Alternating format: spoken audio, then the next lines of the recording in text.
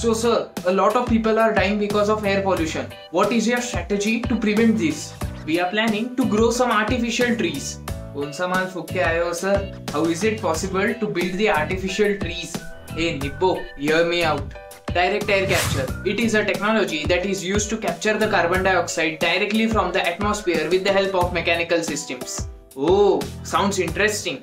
But how does this work?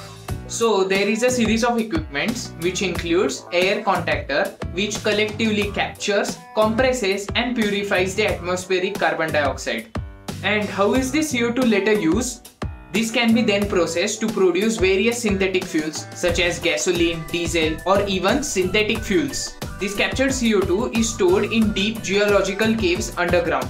There are around 18 direct air capture plants worldwide which are capturing around 10,000 tons of CO2 every year. This is some crazy technology. How did you got this information? I subscribe to the Mark Show. If you found this informative, do the same.